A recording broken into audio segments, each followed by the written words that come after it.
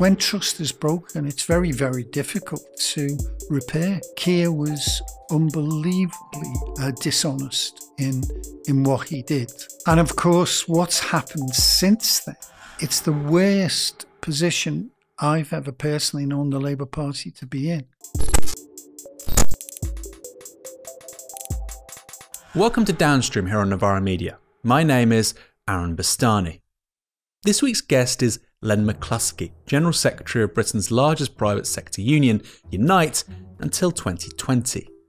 McCluskey is most widely known for his support of Jeremy Corbyn as Labour leader, with Unite backing the Islington MP since 2015. As a result, McCluskey had a front row seat throughout the Corbyn leadership, witnessing some of the biggest stories of the decade from Brexit to the 2016 chicken coup and the 2017 and 2019 general elections but he was also familiar with both Ed Miliband and Keir Starmer as Labour leader, saw the collapse of Labour in Scotland, and was a leading player in an emerging anti austerity movement after 2010.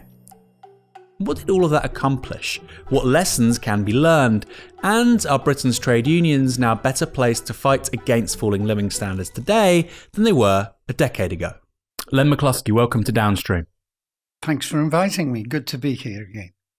You start in the world of work at 18. Yep. You go down the docks in Liverpool. Uh huh. How do you go from that, somebody who's not from a, a powerful family or even a, a massively political family, uh, to becoming one of the most powerful trade union leaders in the country?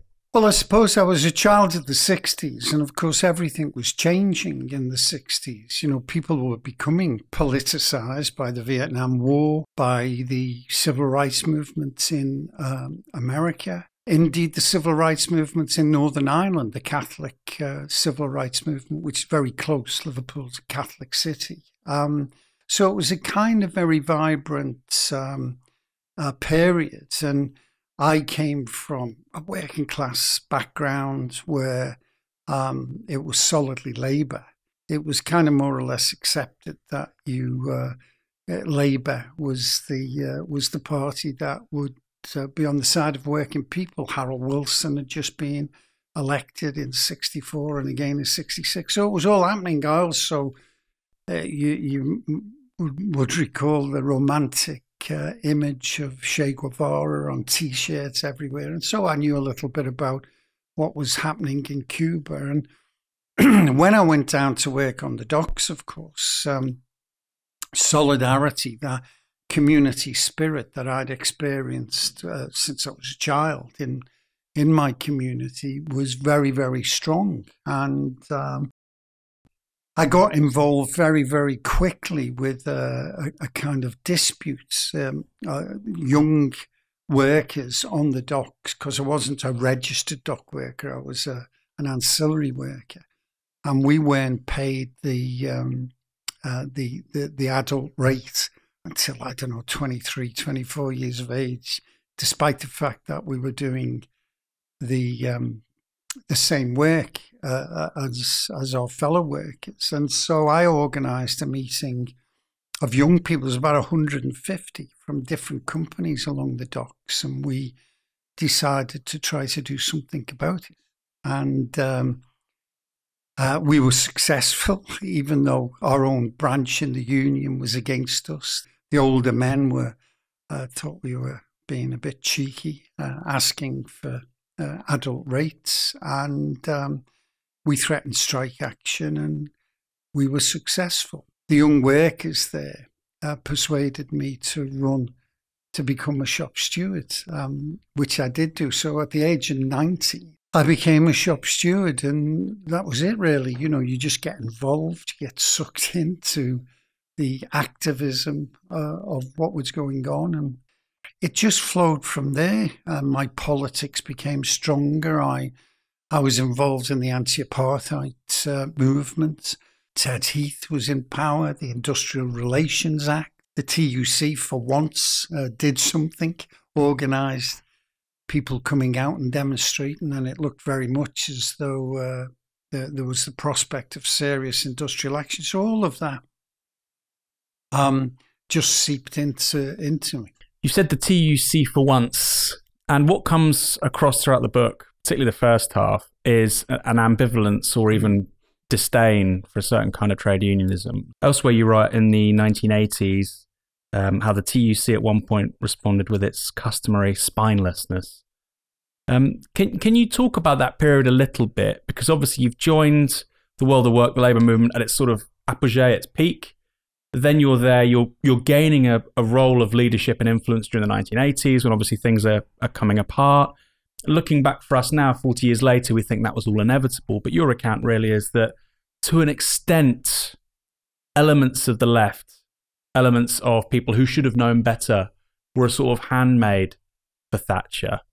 Is that fair? yeah, I think it is to an extent in this regard. I don't want to be too dismissive of the TUC.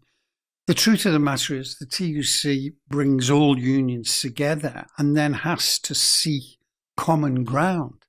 And what tends to happen is they come up with the lowest common denominator. And the lowest common denominator would never be to stand up and fight back in a, in a serious fashion. And the 80s proved that. It was uh, a terrible, dark period. And Thatcher and her henchmen had uh, effectively worked out a strategy.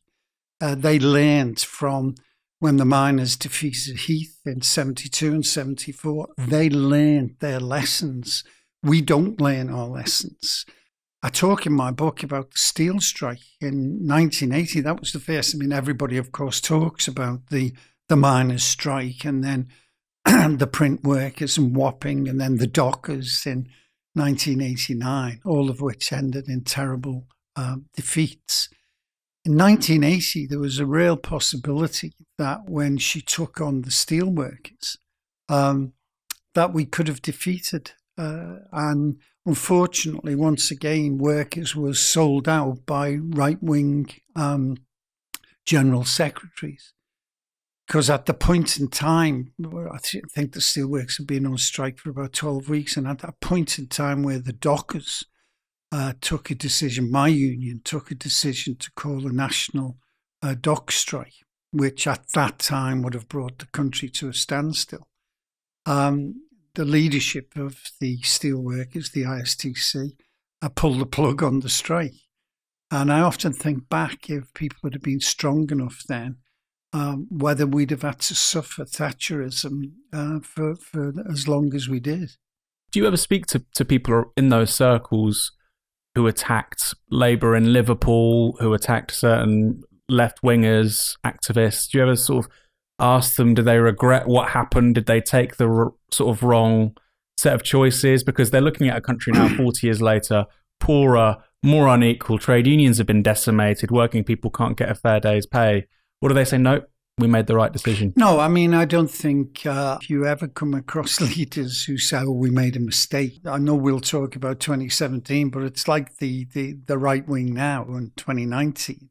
Um, they don't want to admit their mistakes now. And back then, no, it was always Scargill was to blame or militant trade unions and violence on the picket line. And then you had the trade union leaders who were complicit with the government. Um, and the TUC, unfortunately, at the time, and I'd say took its historic spineless position because the print union, for example, um, following TUC policy, when they took strike action, uh, the TUC then repudiated them because so it was against the law and this was happening and that was happening. And it, it taught me lessons all along. I mean, I would never rely on the TUC if I was ever in a battle. Um, yes, you could get uh, moral support in that. And I should quickly say that the current General Secretary, Frances O'Grady, I think is first class. I think she does a,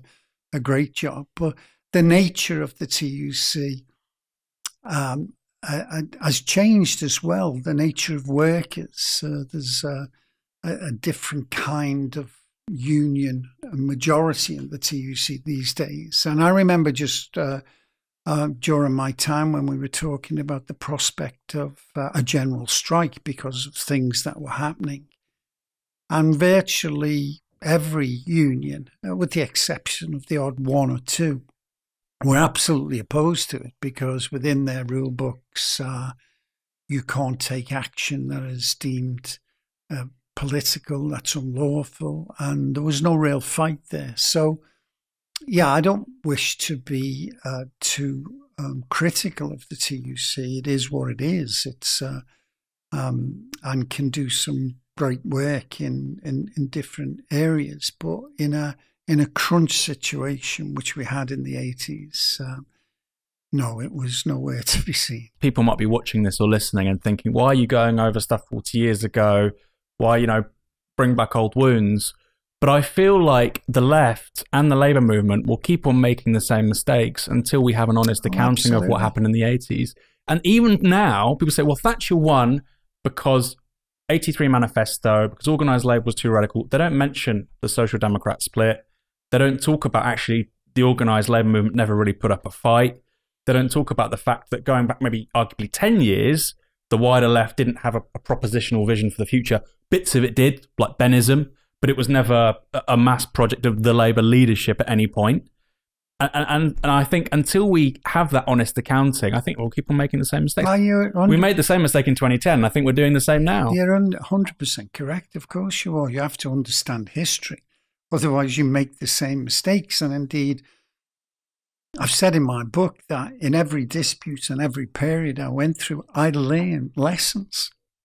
I learned lessons so as if I was ever in a position of power, I would be able to take a different course of action. So you're 100% correct. Of course, we have to look back at various situations. I, in the 70s, as a young activist, was um, a Bennite. Tony Benn was my political hero.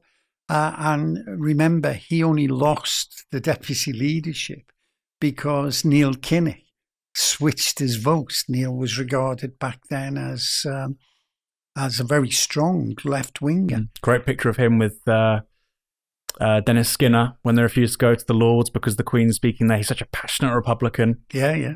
And and and doesn't that tell you things about the nature of the Labour Party, which we'll come on to talk about? Because even uh, left comrades um, can be influenced in a way that suits the establishment. And there's no doubt that Neil uh, was persuaded to disregard all his comrades and his friends and his supporters um, to make certain that Tony didn't take up that role. Um, and of course, from then, Neil moved very quickly towards the the centre right and the so-called modernisers. What do you make of Neil Kinnock? What sort of what do you think of him today? Because his his arc is this was seen as sort of necessary for Blairism, although I, I don't think I've ever seen so many people praise somebody who lost twice. One, uh, it should be said, once he lost, he got a lower percentage of the vote than Corbyn in 2019. We, we rarely hear this, but I mean, that's one person. I said, Did you ever talk to people and they say, Oh, maybe I made some mistakes? If you speak to Neil Kinnock, does no, he ever he, say I made a mistake? No, he would never. He would never say he made a mistake. Quite the opposite, because of course now he's uh, a grandee of the Labour Party, very much part of the establishment, and uh, people regard him on the right uh, of, of, our movement as uh, as a saviour, the person who moved rapidly towards um, a, a centre right position in preparation for for Blairism. Now, I don't dismiss all of that uh, as as being evil. People can make a judgment call. And there's this great debate that's gone on ever since I've been in politics about what's the good of having principles if you never get into power? And what's the point of having power if you don't implement uh, principles as your, uh, uh, as your guide? And and therefore, judgment calls need to be made. And I think he would say, uh, not speaking on behalf of Neil, of course, but he would say, that everything he did was correct and has brought Labour to, you know, 13 years of power uh, under Tony Blair. Blair, of course, was uh, was full of praise for uh, Kinnock when he got elected. So yeah, no, they they would never say, "Oh, we we were wrong here or we were wrong there." Were New Labour a failure? Um, Well, it depends how you judge failure because when uh, Labour won in 1997 and ended that long, long period of horrible conservatism and the evil creed of Thatcherism, it was a great day, a bright new dawn. Things can only get better. And there's no doubt that they introduced lots of good things. There was um, there was improvements made. I mean, you know, Blair was central to the Good Friday Agreement, something that very close to my heart coming from Liverpool. There were things like the national uh, minimum wage was hmm. introduced, the protection for workers who go on strike. Tony never spoke about that a lot. I think that one sneaked through. But the problem was, it's what's happening as well today because what Blairism was uh, very clear was that they were never going to challenge the establishment. So that creed that we all bought into of the irreversible shift in the balance of power in favour of working people, that was never on the agenda. During that 13 years of Labour government, we lost 1 million manufacturing jobs in the UK because on the economy, he bought into the Thatcherite belief of free labour and etc. etc. during the 13 years. Inequality widened. Um, the, the, the reality is that the poor became poorer and the rich became richer. And at the end of it all, we, you know, we still had 13 million of our citizens living below the poverty line. And that's the inevitable. So, how do you judge was Blair a success? In the context of that irreversible shift in favour of working people, it was an absolute failure. The further we move away from 2010, I think the, the stranger it will be when people hear that New Labour achieved so much. Like when you talk to somebody now who's, say, 25, they're renting, they can't afford to buy a place. They certainly can't uh, think about having kids, generally speaking, particularly in bigger cities. They've got a huge amount of student debt. And I think if you say to somebody like that, New Labour changed your life, they think, what the hell are you talking about? Whereas if you say Labour created the NHS, they say, well, that's a really good point. Yeah, I, I had this operation as a kid. I broke my arm. It didn't cost anything. My mum or grandma's benefited from it. Okay, I, I can understand what you're talking about. But the further we move away from particularly after 2008, to, to carry on with these same lines, it just seems it does seem bizarre to me. And I know for a big part of the Labour Party membership, it's like, this is just verboten. No, it was good. They were better than the Tories. I get that. But if a kid's got 40 grand debt and they're giving half their earnings every week to a landlord, you, want them to revere Tony Blair? Spot on. And that's precisely why unless you have a radical progressive government that is prepared to challenge the um, uh, establishment, then the gains that you make will inevitably uh, evaporate uh, when stacked against the the continued unfairness uh, within our society. Uh, remember, um, Blairism never changed a single law on uh, trade unions that Thatcher brought in. In fact, he took great delight in, ta- in telling the business community that the labour laws in Britain were the most restrictive, and whilst he's Prime Minister, they would remain so. The fact that British workers had didn't have the same protections as every other group of workers in uh, Europe is is quite astonishing. Can you tell me something nice about Tony Blair, but personally, not you know the Good Friday Agreement, well, he, or well, is there off- when you met him? Is there something he once said? Was there a nice quality about him that you sort of remember? No, I mean no, he, okay. he, he was charismatic, wasn't he? There's no doubt he was a very astute politician, uh, a nice guy. I never met him. Um, that often. Met him a few times before he was leader. I met him when I was a national official. Um, How did he come across then? Did, he, he, uh, did yeah, you think he'd one day be prime minister? Uh, uh, not particularly, but he was intensive, uh, um, attentive, and he was uh, interested in what was being said, or he appeared to be. Um, I mean, Tony Blair was uneasy in the trade union arena. He, he was just awkward in it, which is why, of course, Brown was always the one that was sent to speak at the TUC. Who's the best and worst Labour MP that you've had to work with? Let's um, foreclose party leaders, so like Corbyn and McDonnell, but like surprise us a little, maybe. I don't know. I've come across a number of right wing Labour MPs who um, weren't uh, particularly impressive. Um, I, I, talk in my book of an encounter with uh, with a few of them that um, uh, Chris Leslie being one. I think I say I wouldn't send them across the road with a message. Um, and there were a few like that. Uh, I mean, lots of obviously good uh, Labour MPs over a period of time who were, you know, looking to fight and be on our side. Today's people like Ian Lavery, um, a good, strong working class lad, and the younger ones uh, who are coming up, Dan Carden, um, very, very impressive. Uh, and I mean, I think um, you have to try and take politicians as you as you find them and try to understand the difficulties that they themselves are, are placed with. In terms of the lobby, Westminster lobby, do you think they're detached from reality? I mean, a good example is Brexit. You were going out to the shop floor, you were talking to your members, and actually you were like, these people want the, the referendum observed.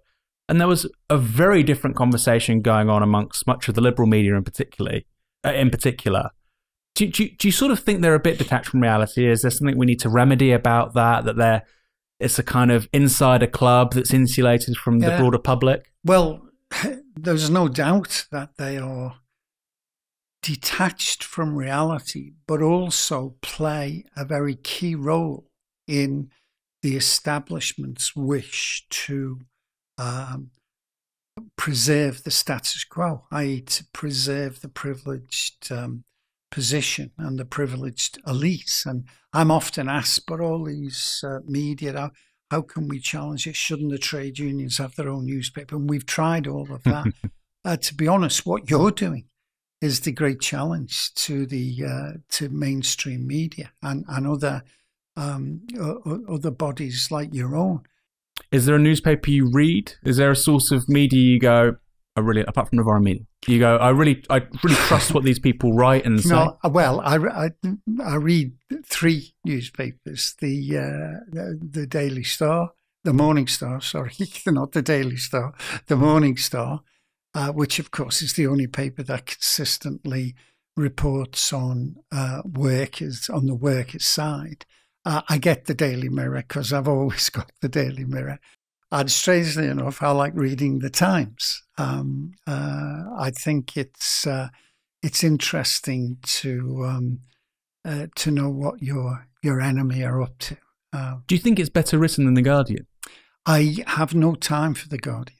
Um, for this reason, at least, I know where I stand with the Times. Um, the Guardian purport, on the one hand, to be, you know, liberal leftish, and yet um, when issues arise, they always seem to me to um, to to kind of side with the establishment. Their their treatment over Corbyn um, uh, finished completely. I used to read the Guardian because you're supposed to, but uh, I don't read it anymore. It's interesting, isn't it? I mean, for me, I look at my weekend sort of reading habits, and I sometimes read the Sunday Times because they just, they just land massive stories. I mean, not always honest reporting in there, and the comment journalism isn't great, but you often get one or two really knockout stories every week.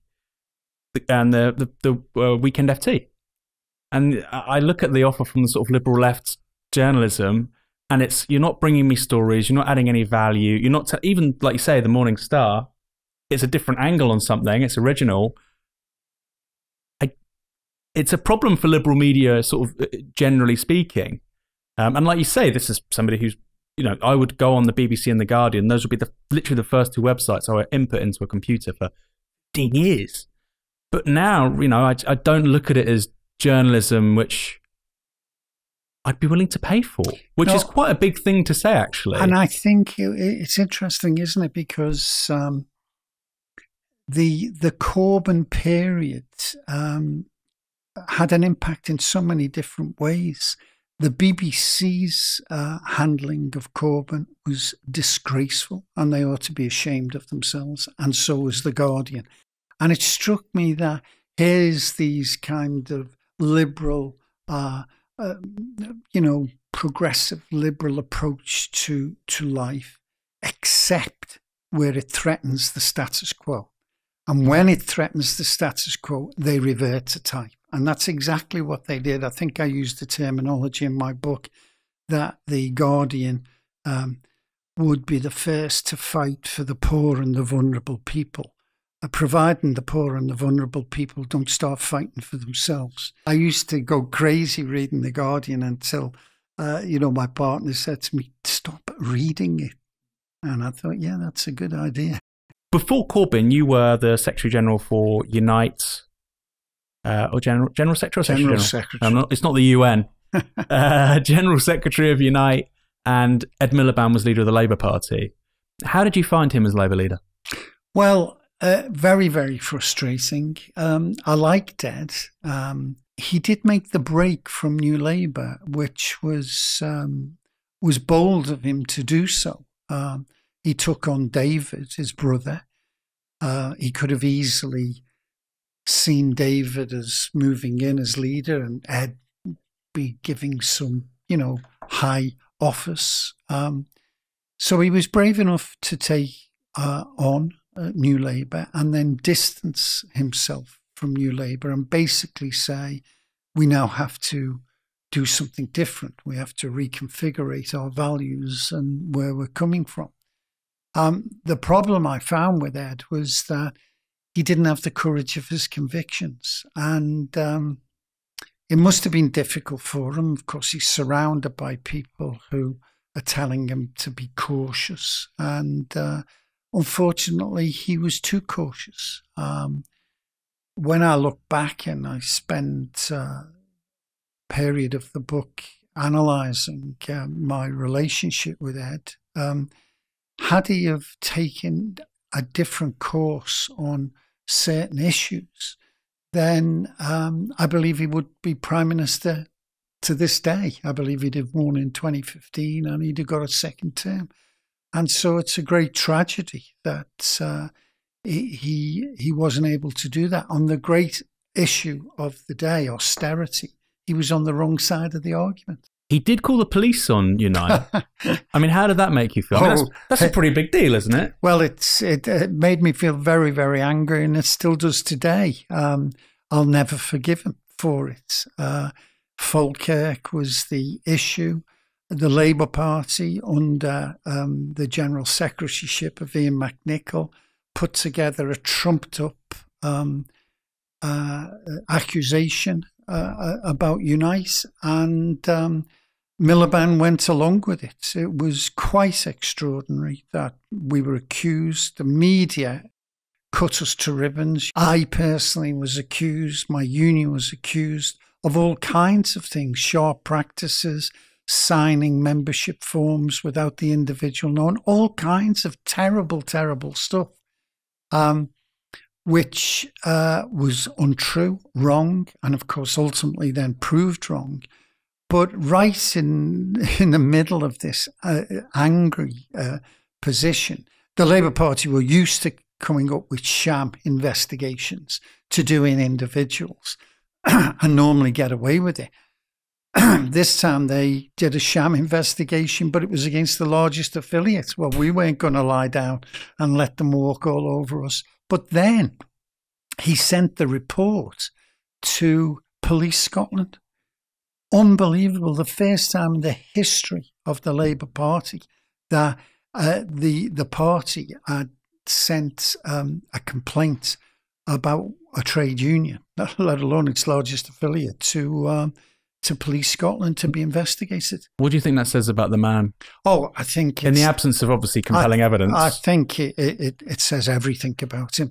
It says that he was persuaded by those that were around him uh, that this was the time to take on the big bad trade unions and who was bigger and badder than Len McCluskey.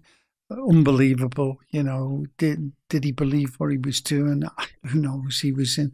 He was definitely encouraged by those people that it's time for you to show um, the trade unions where you stand, take on the big bad uh, unions and big bad Len McCluskey. And Blair uh, congratulated him, so did Mandelson.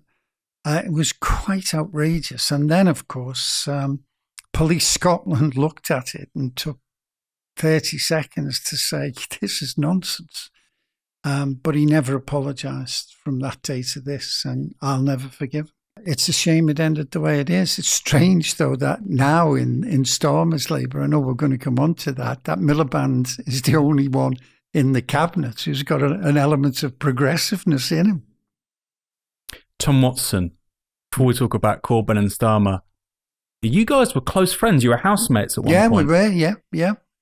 Tom Watson became the avatar for everything which you're criticizing anti democratic practices, opposition to progressive policy, and so on. What happened? Did he change? Did you change? Oh, no, Tom definitely changed. And of course, I haven't spoken to Tom since the. Uh, since the coup of uh, 2016. So it's, blimey, six years ago. Yeah, we were friends. He, he was um, very engaging guy, uh, good fun, um, good to debate and discuss. Uh, people have constantly asked me, well, what happened? And the only person who could answer that would be Tom. Tom came from a background of um, of a right wing union, the AWU, who used to pick out talented young people and used to deliberately send them into the political arena. And Tom was one of them. Um, uh, and he entered politics as a right winger, uh, but changed, went on a journey. I remember him telling me about Tony Blair. He said, Lenny, Tony Blair dazzled me. Uh, that's how impressive and charismatic Blair was. But then he began to move on this journey, and uh, we all know he was part of the, the so called coup, the Curry House coup that uh, brought Blair down or ended Blair's. Um, and then, of course, he got involved in issues, took on the Murdoch press. Uh, and strangely enough, and I talk about this in my book, I remember being, having a drink with him one night, and I said, Tom, uh, you do realise you've become a working class hero. And he said to me, Oh, no, no. I said, You have, honestly, what you've done, taking on the Murdoch press like that. Fantastic. I said, But take a piece of advice from me. Don't ever let the left down because if you do, they'll never forgive you. Now, I don't know why I said that to him, but obviously he then changed. I mean, the only thing I can assume and think of is that. Uh, Corbynism scared him, and he reverted to type. I I don't have any other. But he he behaved very irrationally. So even on things like Brexit, you know, he was in a, a solid Leave seat, and then he decided to become the sort of face of Remain before the 2019 election. So that suggests to me, people say, well, that's because he believed in it. It's not. It suggests to me that he wasn't thinking clearly for a period of several years. And I, I wonder what triggered that? Well, I, am I'm, I'm, you know, it, it's a question really because I think I, I, say in my book over Brexit, over this sudden conversion. Uh, you know, did did he ever believe in anything for real, in a genuine sense?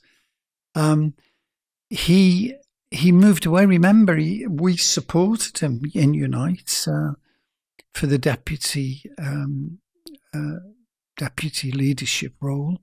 Um, he was uh, involved in trying to persuade people to put Corbyn on the ballot paper. Uh, he definitely had moved to the left. Um, and then all of a sudden, things started to change. His role as deputy leader was was terrible. He was constantly undermining uh, Corbyn. And ultimately, during the coup, he was seen by the Parliamentary Labour Party, the most right wing Parliamentary Labour Party we've had, as their kind of spokesman to persuade Corbyn to step down when I was engaged in, uh, in trying to reach an accommodation.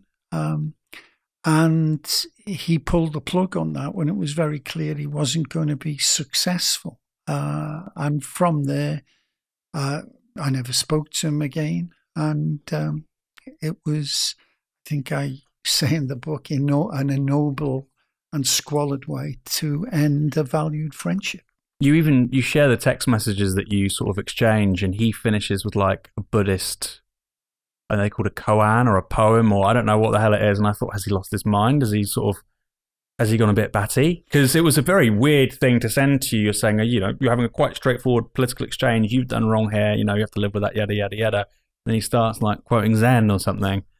Something yeah. uh, is that being disingenuous? He doesn't actually want to respond properly, or does he actually believe the crap coming out of his mouth? I think by then he, he may have, you know, his his life began to change. He he lost an awful lot of weight. Um, and I, I genuinely think that he started to find more peace in, in his personal life. Um, so uh, I've, I've looked at that quote on a number of occasions, and I think that was his way of saying, look, I'm, I've moved on and, you know, I'm, I'm, I'm still, uh, I'm still fond of you. I forget what he says, but he says something. Oh, like that's, that. that's a very nice reading. Let's see again, Len McCluskey being the nice guy. It's the media mischaracterization. I mean, I would just say you've lost you lost your marbles, mate. But it shows I'm a nasty person. Labour were polling ahead of the Tories 2017, 2018. I mean, much of 2017, pretty much the whole second half of that year after an amazing general election result.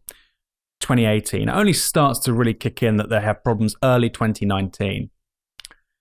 When was the moment you realised that Jeremy Corbyn wasn't going to be the Prime Minister? Oh, uh, I realised that, oh gosh, way, way, way before the election. Um, the 2017 election was extraordinary, and it's what I would say to all of your listeners and comrades out there never, ever, ever allow the establishment or the right wing to um, obliterate 2017. They talk a lot about 2019 and Corbynism was destroyed because they never talk about 2017. Uh, it proved that a radical leader with a radical transformative program um, was popular in in the electorate, in the British electorate, and we should always seize on that. Uh, both Corbyn and McDonnell had done a remarkable thing. It's just a phenomenon um, that I've never experienced before. And so after 2017, on June the 9th, um, Corbyn was untouchable. And for the remainder of that year, um, he was in a pretty strong position, but it started to go wrong, in my opinion, in early 2018. Um, the whole issue, the seeds of a second uh, vote, um, the people's vote, and uh, had started to be sown.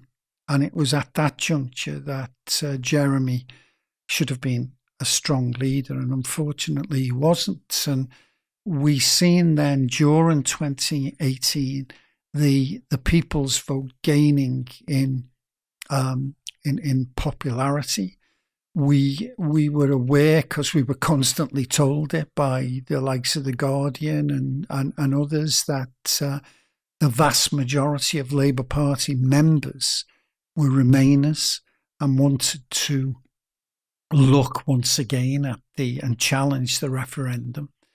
And it was evident to me that we were on the beginning of uh, a, slippery slope, uh, which I raised with Jeremy um, right through 2018. Uh, it was growing and growing. You couldn't dismiss a million people out on, on the streets. Uh, you couldn't dismiss it. And a vacuum began to emerge in terms of leadership with leading uh, members of the Labour Party supporting and giving credence to the idea uh, that a second vote and a people's vote was something that was legitimate. Um, and uh, of course, so, let's go back a bit. How does that happen? 2017, you get this extraordinary result, and it's because Labour have, have basically said we recognise the result of the referendum. Now, some people say, well, that was never good enough. Well, it was. So why didn't leading Labour MPs stick to that position? Why do they suddenly go off in different directions? Well, you need you need a leader. It, it, it's why didn't Jeremy stick to that position? And I urged Jeremy and those around him to get him to send a letter out, a personal letter to every Labour Party member to say, look, I know there's many of you uh, are worried and are Remainers, but trust me, this that we've just fought an election saying we would recognise the 2016 hmm. referendum. This is about democracy, and this is the road for us to get into number 10. Trust me, stick with me. 70% of them may have been Remainers, 90% of them were Corbynites, were Corbyn supporters. He should have done that very early on. He should have said, I'm going to spend the next how many years up to the next election speaking to Remainers and trying to find out what their fears are so that we can put together uh, an appropriate programme. Uh, but that is the way. You should have said to Emily Thornberry uh, and Keir Starmer, uh, you have a different view. You go and argue that from the backbenches uh, because this is our position. And he never did that. And unfortunately, what then uh, emerged is this vacuum. And if there's a vacuum, especially in politics, well, vacuum anyway, if there's a vacuum, somebody will fill that vacuum. Mm.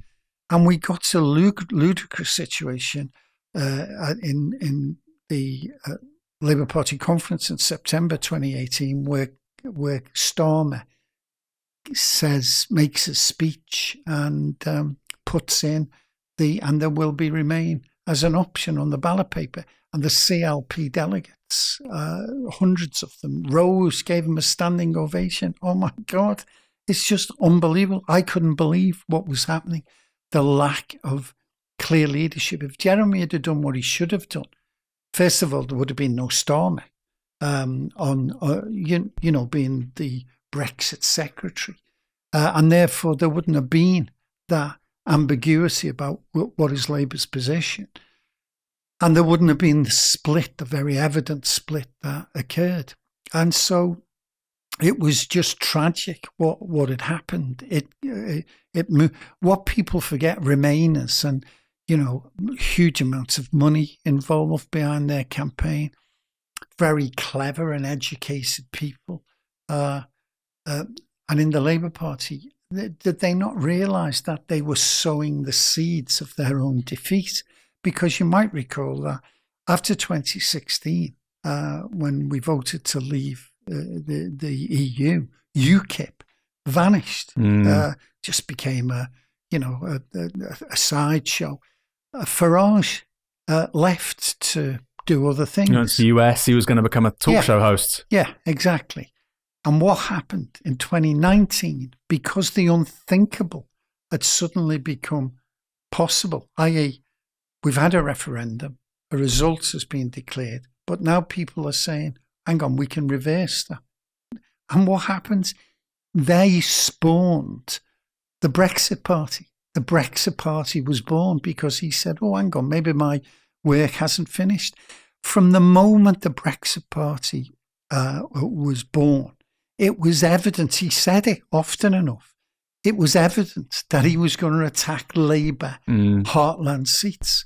And I just was oh, beside myself that people couldn't see that. The leadership couldn't. Jeremy was lost to know what to mm. do. He, Jeremy is somebody who, lovely, lovely man, decent, genuine man. He doesn't particularly like confrontation. And of course, he was trying to figure out how to keep the two sides of his own party together. Remember, in his constituency, um, they'd voted 70% to remain. Mm. In Ian Lavery's constituency, the chair of the Labour Party, they'd voted 70% to leave. And he tried to not um, offend anybody. But of course, it, it, it just disintegrated into a, a, a ludicrous situation where uh, leaders of the party could say anything they liked. We then had, if you recall, in uh, in 2019, the European elections, Mm. the most useless elections we've ever uh, had in, in the history of, of, of our nations. Um, and suddenly there was panic. In fact, it's my belief that John Mack, um, and you know, I, I think he did a fabulous and remarkable job. I, I like him a lot, but I think he panicked because there was always. Can I just say, your book is very even handed in all of this stuff, which I really admire. And it's why people should read. You're not casting blame. You say he's done so much good, and then at this Yeah. particular moment, he he came up short. Sorry. Yeah, I, I, he did.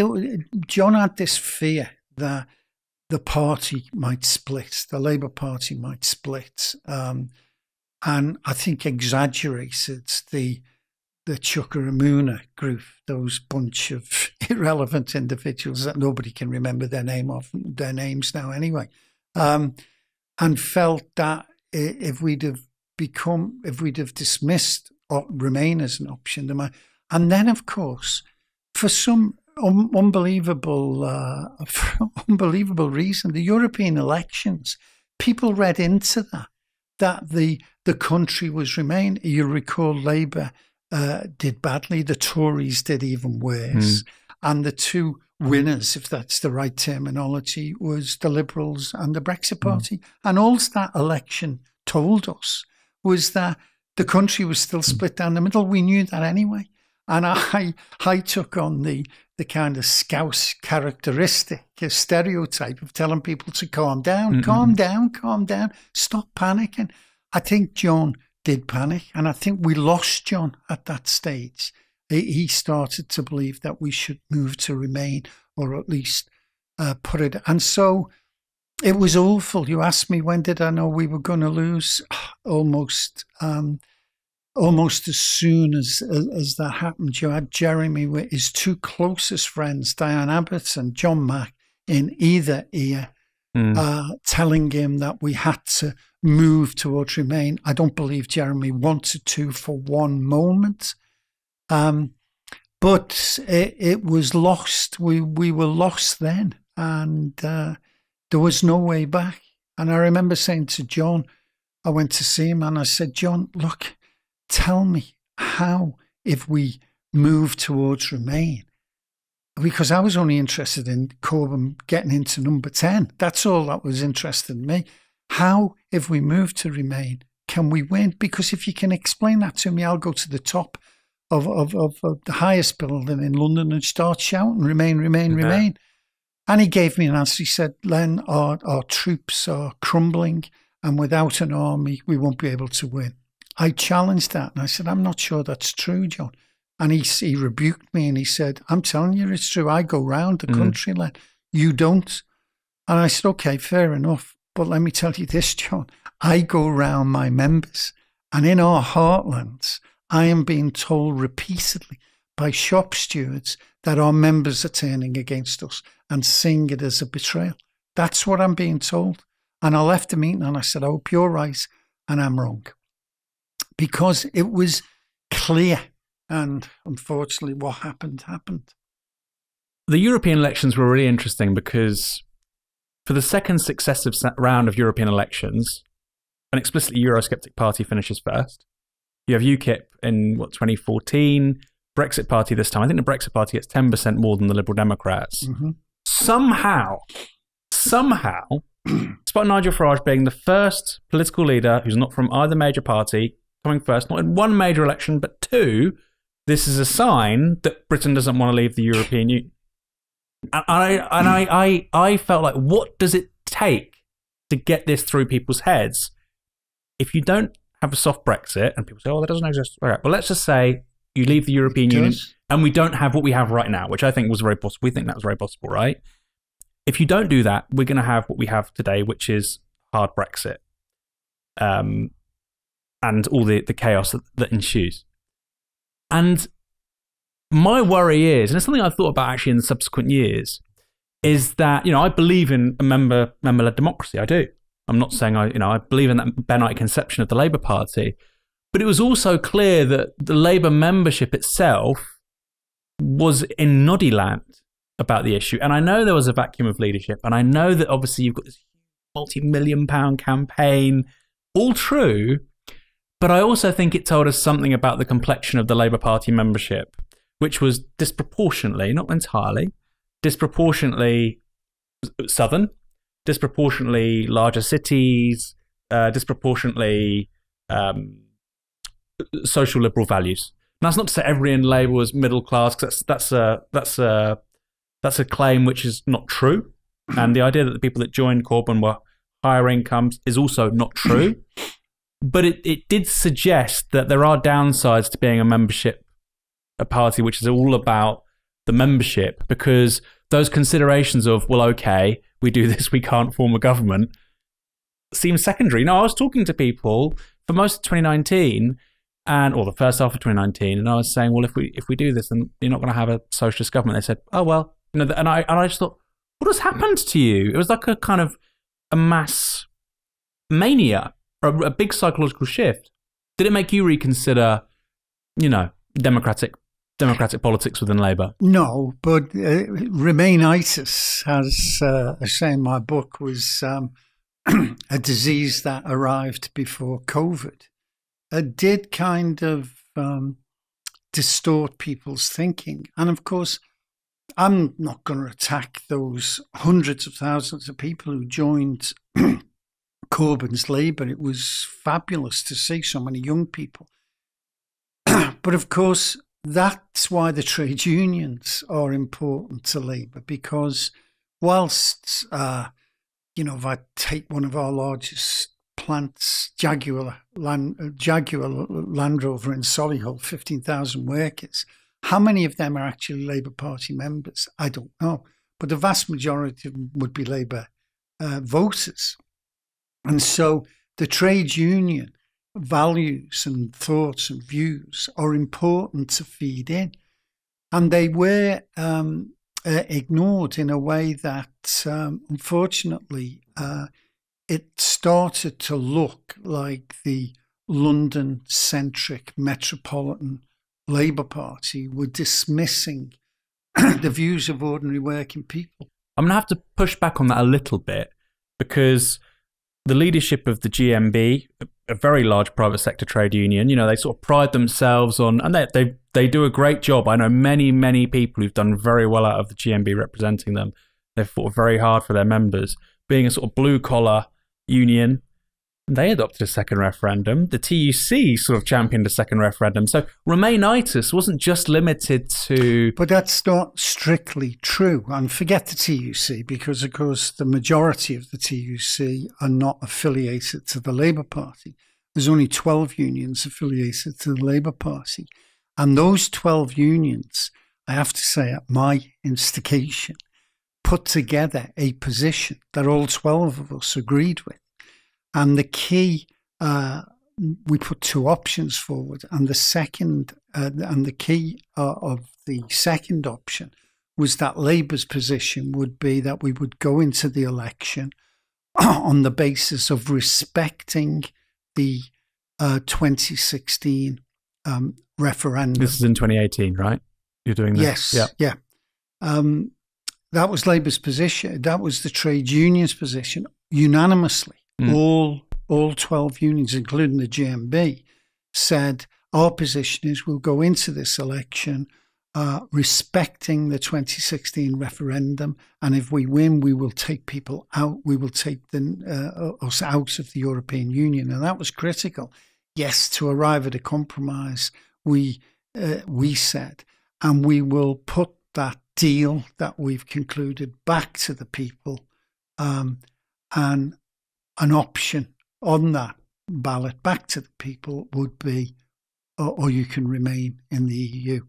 Now that was um, so that was a unanimous position that we adopted from the trade unions, and it was it was a, a good position. There was an element of compromise in it. Uh, I remember Dave Prentis of Unison said, "Len, you'd be prepared for the for there to be a referendum uh, as an option."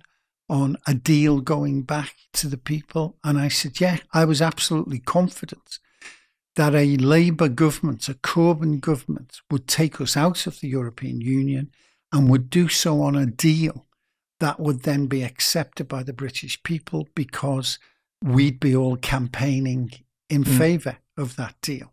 Um, so the, that was the GMB's position as well. Uh, so we were united. Unfortunately, unfortunately, we had the ludicrous situation when it was eventually kind of uh, taken on board by the leadership of um, people like Emily Thornberry, uh, Keir Starmer, uh, John Mack, who were the negotiators, and were being asked the question. So, okay, if Labour get into power, you'll take us out of uh, the EU and you'll negotiate a deal and you'll put it back to the people. Will you campaign for that deal? And they would say, no, no, we'll campaign to remain. Or I've never, I've never come across anything so stupid in politics in my life. That here you were, you were telling the British people, we're sending a group of people in to negotiate the deal to take us out of the European Union. Um, we're going to put that back to the people. But the very people who've negotiated the deal are going to campaign against it. That'd be like me with an employer saying, right, let's do a deal. Okay, we've reached a deal. And the employer's saying, okay, great, we've reached a deal. Yeah, yeah, that, that that's the deal. But by the way, I'm going to go outside now to my members and I'm going to campaign against the deal.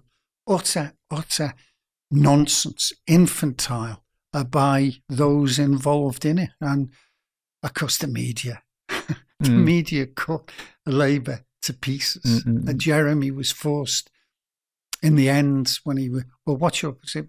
And he, he said, well, I'll adopt a neutral position in a campaign like that. Meanwhile, you had the bold Johnson just winning an election on three words get Brexit done. You write that you um, got on quite well with Keir Starmer initially. That surprised me. So you had a, you had a rapport with him. Was that during the leadership election or from before? Or No, well, obviously, I'd met Keir a number of times beforehand. Um, but the election, when uh, the election for the leadership uh, began, it was pretty clear to me very early on that he was going to win.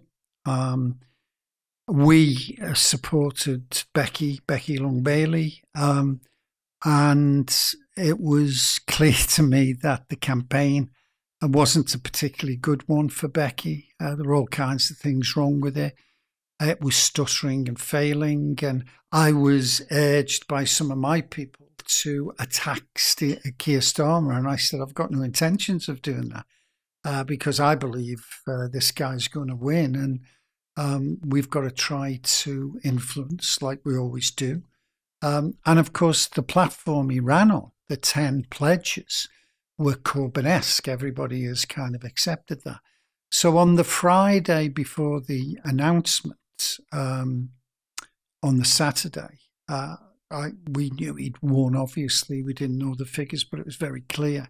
I rang him and I said, Listen, Keir, this is just to let you know that you should not see either me or Unite as your enemy. We've supported Long Bailey, but and of course his response to me was, "No, don't worry about that.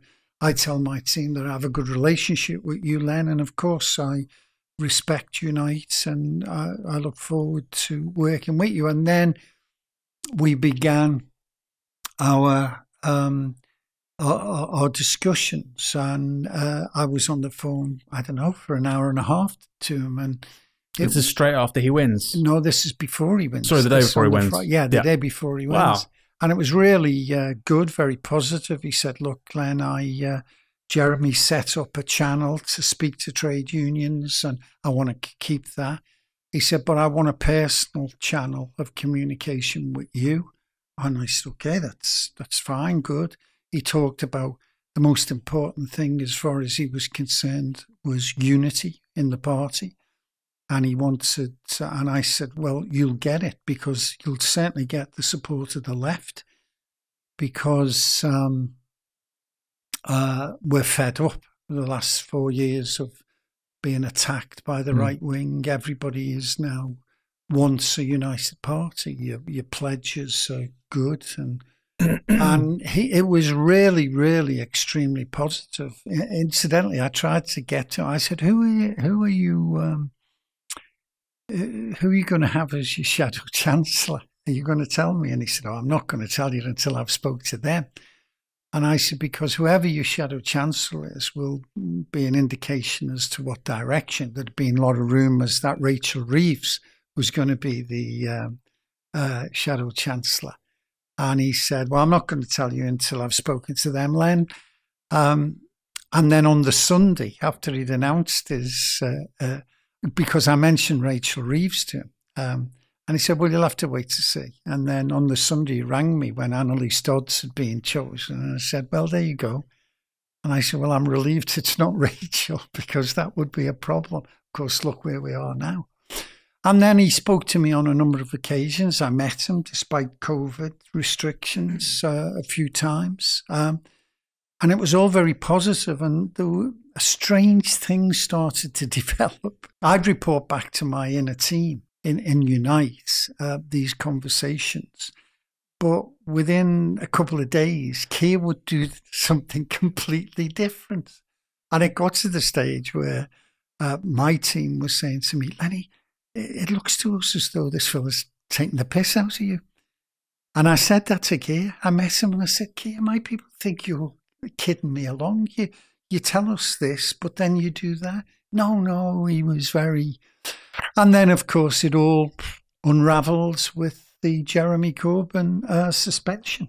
Um, and I was asked, I was on a Zoom with, oh, you know, a couple of dozen leading left uh, uh, comrades who said, this is just unbelievable. But before we declare war, uh, somebody needs to go and see Keir. And I was um, I was chosen along with Jon Trickett. And the pair of us the following day, on a Friday, went to see Keir, Angie Rayner, and um, uh, Morgan McSweeney as Chief of Staff in Parliament to ask a simple question look, is, is, is there a negotiated settlement here that we can all get back? Otherwise, there's going to be problems. And um, he said, "Well, yeah, yeah, we don't want a war. So if we could reach uh, an agreement, a, a, a, statement that Jeremy was prepared to make, then." And I said, "Well, fine, let's work at that."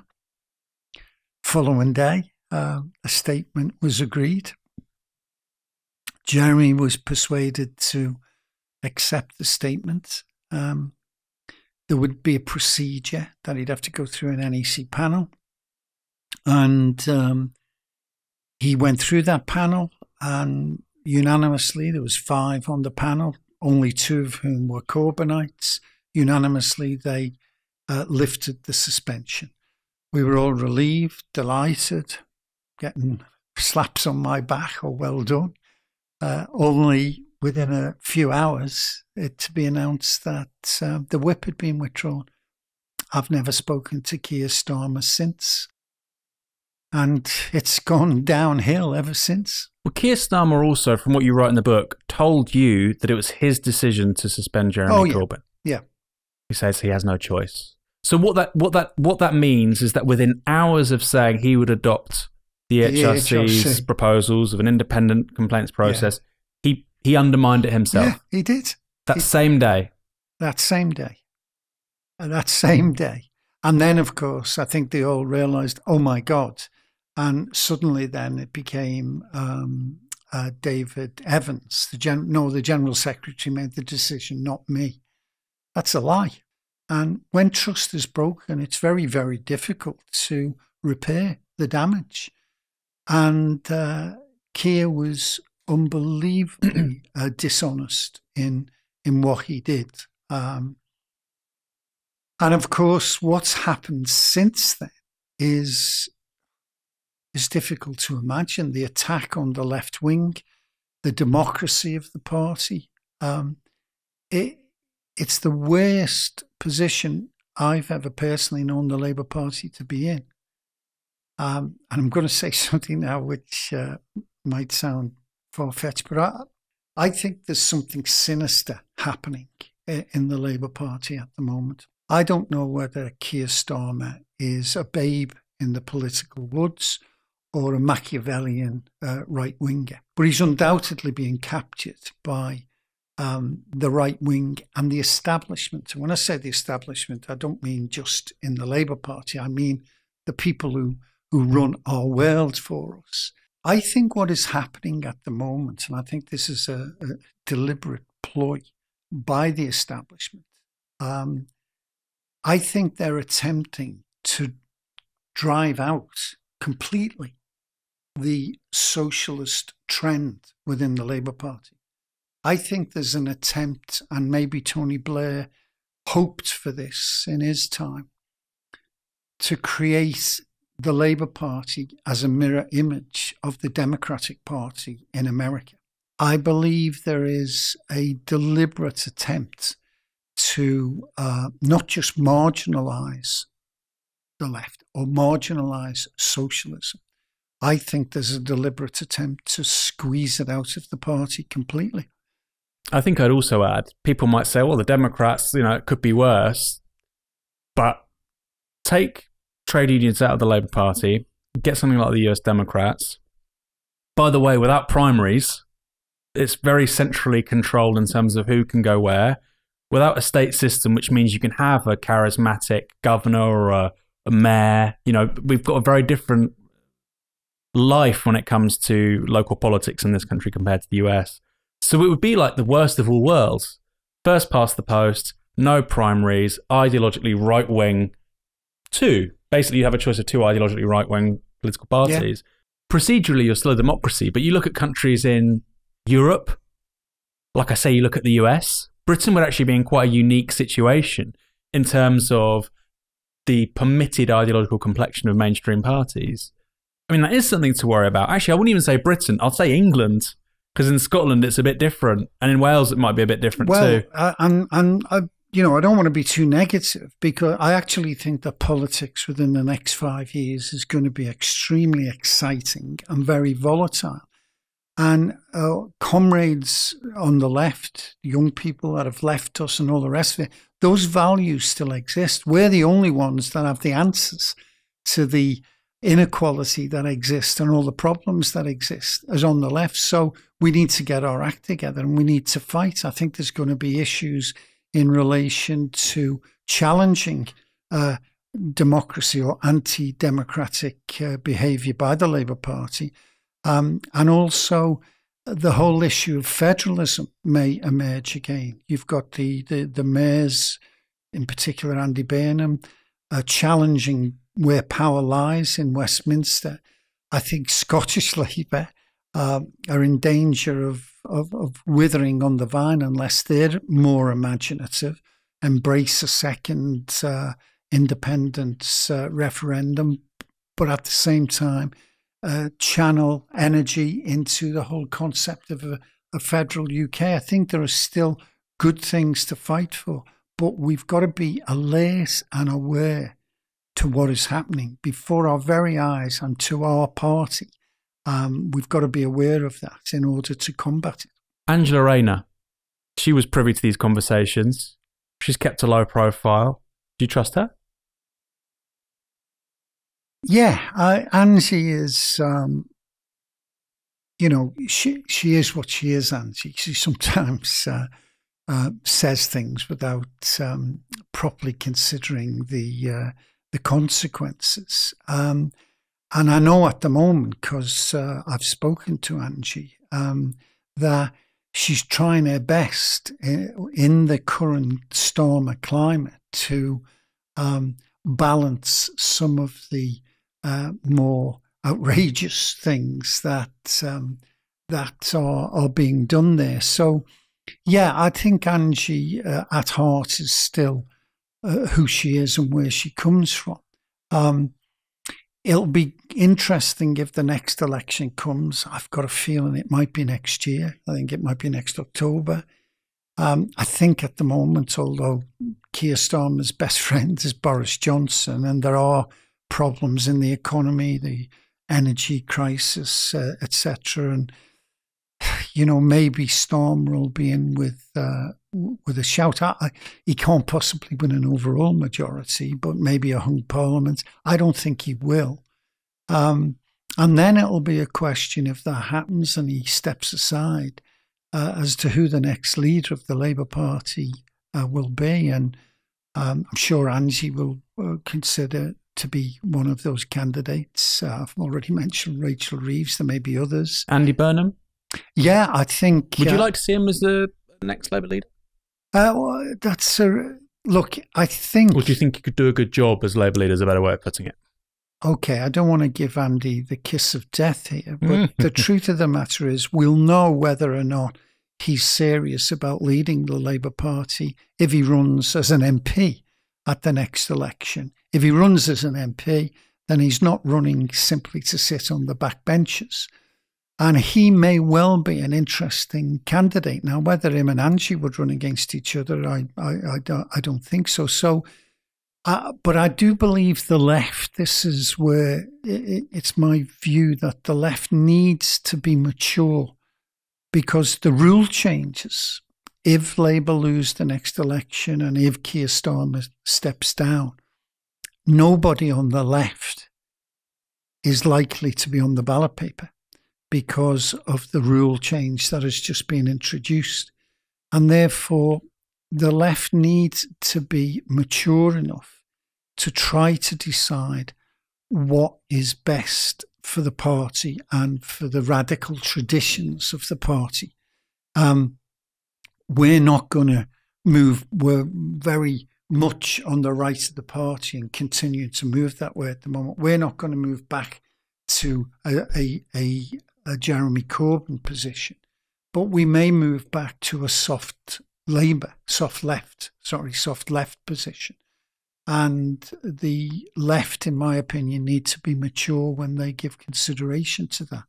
Um, and so, as I say, it's going to be an exciting period and a very fluid situation in politics in, in the next few years. Yeah, I think that's so important to state.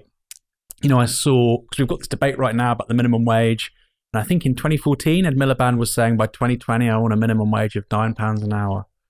You know, and it's 9.50 under the Tories. And Yeah. the Tories are saying it'll be 10.50 before the next election. And you think, okay, things have really outpaced Yeah. what people expected. Final question, because you've indicated what you think will happen at the next general election. Are trade unions in this country better prepared to fight back against falling living standards today than they were when you became Unite General Secretary in 2010? Um, I'm probably best making two comments here. One about my own union. The answer to that is undoubtedly we are better prepared. I mean, uh, as we talk, uh, there are literally dozens of strikes taking place within Unite. And it's because the workers have confidence. They're getting £70 a day strike pay. And that gives workers confidence that at least they've got some money to pay bills and buy food.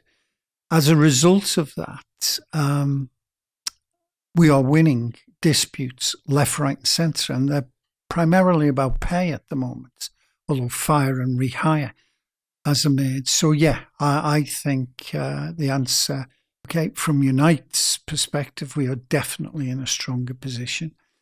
And I think other unions are also um, uh, recognizing that uh, this is such a critical point in time for working people that, yeah, we've got to fight back. We've got to make certain that it's not ordinary working people paying the price for this system that is clearly broken. And the governments of the day are not prepared to do anything to mend it. So, yeah, I'm I'm hoping so. I I've urged my colleague unions. I'm not trying to teach my grandma how to suck eggs here, but I do think they should examine the process of leverage, how you can take on an employer. We definitely uh, would encourage everyone to create a strike fund so that workers uh, don't feel starved back or afraid to stand up for their, their rights. I learned that throughout my life. I was on strike on a number of occasions. We never got strike pay, and it it, it was difficult, very very difficult. So, um, and I always thought to myself, historically, this is what happens: workers are starved back into work. And I always thought when if I ever got to a stage where I was uh, uh, I, I was in power, I would create a strike fund that would give working people confidence. And in Unite, we certainly have that confidence now. And I would urge all of the unions to, you know, take a close look at that. Len, pleasure as always. Great book. Good to talk. Thanks for joining us. Thank you.